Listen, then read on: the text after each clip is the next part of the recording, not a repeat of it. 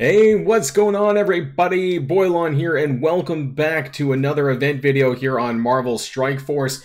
Today, we're going to be talking about, we're going back in time, like almost 20 years for the event Asgard 2004, and that's going to be the Photon character release event. So we're going to be talking about how you're going to be able to get all of those shards, which is almost a four star. It's not quite. So unless there's some secret somewhere, you might be like 10 shards short of getting a four star photon by the end of this event. So if that's something that concerns you or you really want that four star free to play, I actually recommend maybe pulling one or two of her orbs while she's here. And if you are going to be finishing the milestone event, then you'll get a four star. If not, you're going to be like this close from a four star.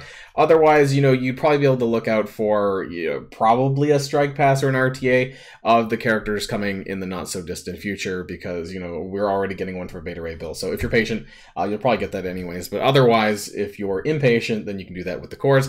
But let's get on to the math because that's what we're here to do. So if you're ready to go, everybody, let's boil this down.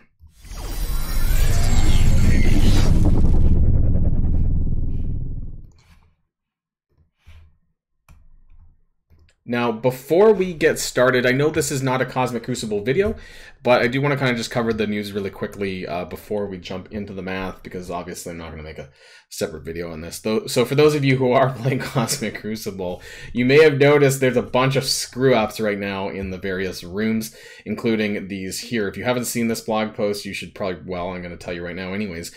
Basically, room one, all the strikers are gaining double damage.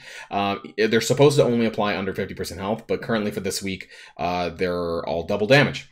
So maybe shift that Infinity Watch into Room 1 because uh, there's a lot of strikers on that team, or any of your other big teams that use strikers right now. Room 4, basically is messed up. The whole assist function does not work. Room 5, all mutants, including villain mutants, have the tags for Unlimited X-Men and all those things. So if you want to run APOC Unlimited X-Men, now's the time for this week because they're not rolling it back apparently, and they're keeping it as is. And Room 6, special abilities are plus 2 energy cost and not minus two like it's supposed to be. So certain characters, it's actually kind of similar to last season that had this. Uh, pretty much it was the same thing. So that's probably why it got effed up.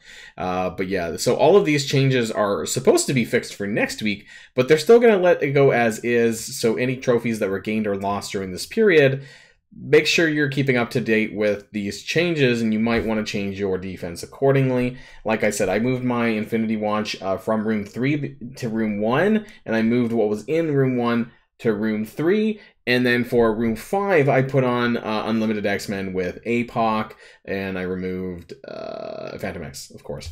So that's what's changed on my Cosmic Crucible. I just wanted to let you know what was going on. So let's jump to the Sylvie TVA, this is my subtotal. You guys have seen this, I'm sure. I keep track of this every month.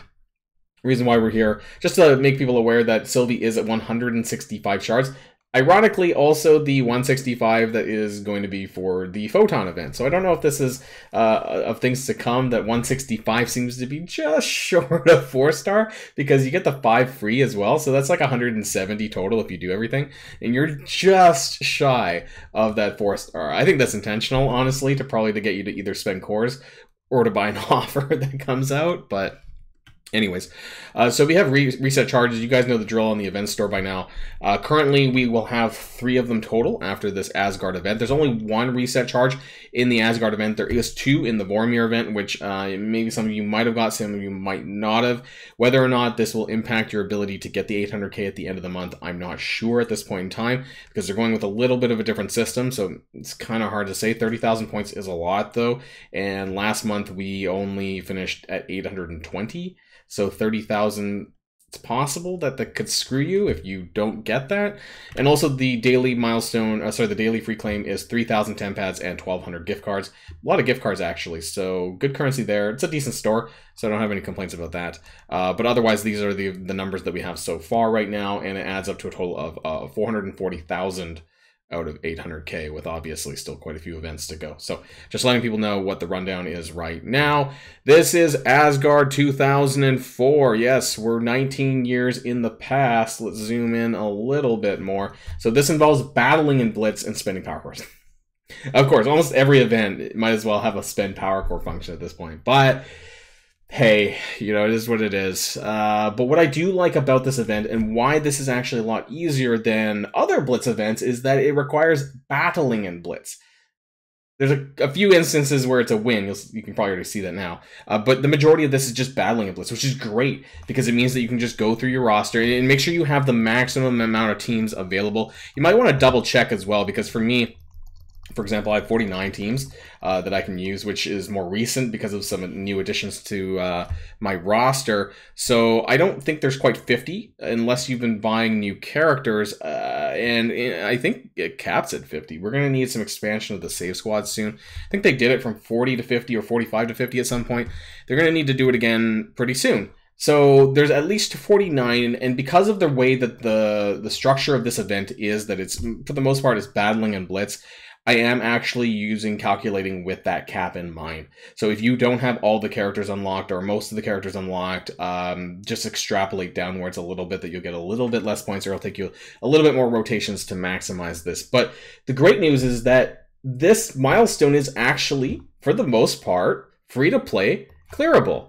So the, the chart here for all of this, which goes down to 180,000, you can pretty much get this if you're willing to, you know, go balls to the wall on blitzing here that 180k is actually viable. Uh, believe it or not, uh, this will be the one time, and there's actually some good stuff in there, including G18 minis. There's 20 and 20 over here. I think that's the nebulizer and the hyperphage. Uh, so that's 40 uh, bio G18 minis, which sounds pretty good. And of course, all the temp pads, which you're going to get. Honestly, this part's going to be pretty easy. Uh, but if you do want to get the extra photon shards, which is actually the unlock is here at 102k you're gonna that's the unlock that's the, the 100 shards for photon and there's an additional 55 shards sorry 155 shards. Uh, plus the five from the free claims 160 i think i said 170 earlier uh, but it's actually 155 plus five so 160 so you might have to pull an extra orb actually uh, now that i think about it if that's what you're looking to do Otherwise, if you're patient, just wait it out, and there's probably going to be a pass of some sort later on. Uh, so yeah, if you do want to get the maximum photon charge, you're going to be looking at 135,000 which will take a little bit more of the rotation. So I do have that listed in here. So Photon free-to-play unlock is 102,000. Uh, the event currency does cap out at, uh, sorry, that's 91,000 currency available, plus the one reset charge. So this event is worth 121k, uh, which is quite a lot. 125 photon shards at 124k, and then the 150, which is only 11,000 more for 35 more shards. So that's quite valuable. So this is going to be the ultimate goal, I think, is where people are going to want to get to. I think 135k um, is not that hard to get actually, uh, but that's where a lot of people are going to want to push towards if you can stomach even just doing blitz rotations when you don't even need to win, and that's the best part of it. So here's the points breakdown.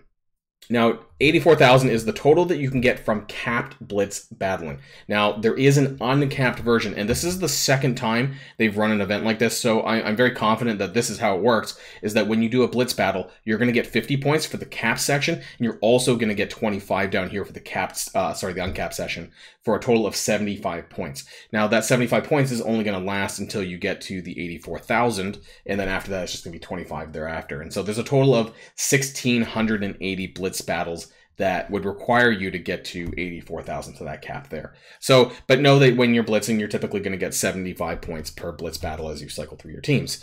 Now, you are going to get some a little bit of boost. Now, Normally, I wouldn't include this, but for the purposes of this uh, calculation in the video, I am actually including Photon because by the time you get towards the towards when you start unlocking her, you know you will be able to do this really quickly to add an 8,000 points on there. It is a seven day event, so there is going to be a lot of blitzes a lot of rotations uh, that you want to do. And if you're really hardcore about it, like I said, you can complete this event. Uh, there is Blitz with Miss Marvel Hardlight. I am not including this into my calculations because this is going to be an offer on Friday, and uh, this is not really free to play uh, viable. But Photon is because you will probably get her unlocked by like day five, something like that. Maybe four or five, depending on how hard you're blitzing, and then you can include her and get those extra 8,000. Uh, you get 4,000 for Doctor Strange and 4,000 for Sylvie. So there's a lot of bonus points right here. 8,000 for these two, uh, 16 so with, with, with, Photon, and that's like 100,000 right here in just this section here if you count that out. Now, there is something called the Godly Power Orb. I don't know what this is. It doesn't make clear how many of these we are getting. It might be a free claim online uh, that we might get to. Maybe we'll get the cap. Maybe we'll get the 10,000 points. And if we do, that means you'll have to blitz even less to get to that. Uh, well, to get to the 135k, anyways, if that's your your end goal but I don't know exactly how many of these we're getting. It, it does cap at 10,000 at 5,000 points each, so two orbs uh, for that. It's also uncapped actually that you get 2,500 thereafter. But again, I don't know how many of these we're going to be getting over the course of the event. So this is not included in the math, but actually even without that, it is still possible to hit the final milestone. So that's pretty impressive. And if you do want to spend power cores uh, on any of the characters upcoming, including Miss Marvel Hardlight, who's going to be on Friday, uh, then you will get four points per power core. So that's cool. It's a little bit more than than previous events. Uh, and so if you spend 5,000 power cores, you get 20,000 points. I guess it doesn't seem that that much now that I look at the different points. But hey, you know, if you want to push and you don't want to do as many blitzes or you were going to unlock Miss Marvel anyways, then now's your time, I guess. So the total amount of blitz battles that you're going to need to do is 1680.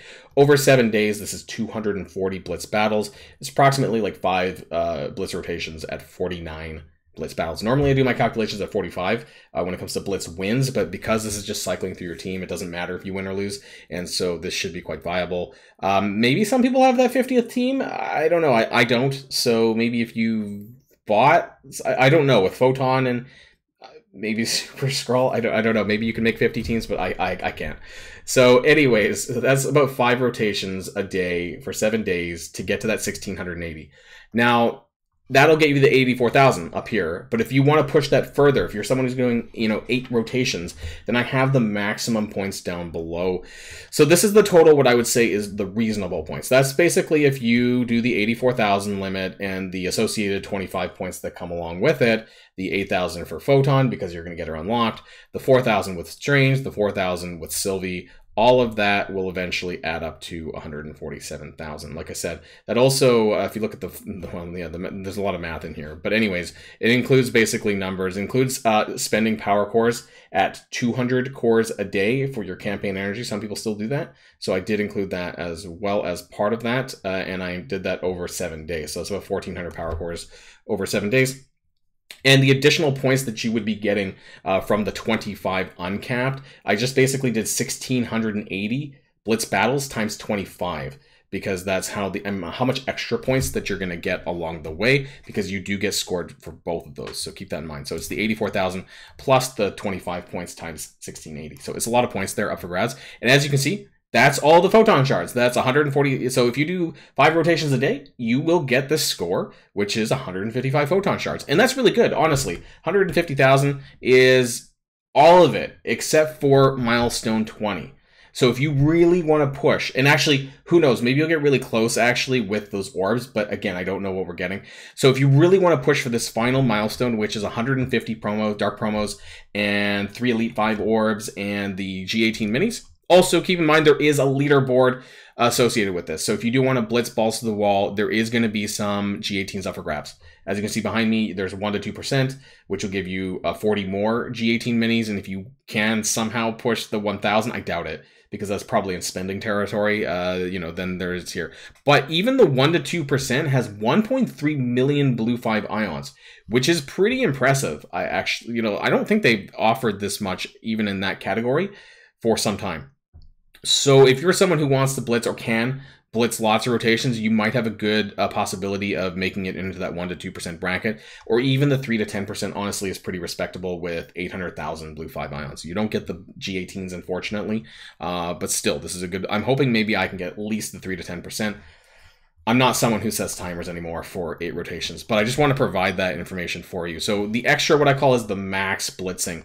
And I basically made the difference of, you know, between five rotations and eight rotations a day, how many extra points are you scoring? And you'd be a bit surprised because you're going to, you're going to build another 68,000, uh, sorry, another 26,600 points from the uncap. That's the 25. And so basically what I did was I just, I, I, I, I split the difference here. I just, I, how many points would I get in the uncap points if I did eight rotations a day?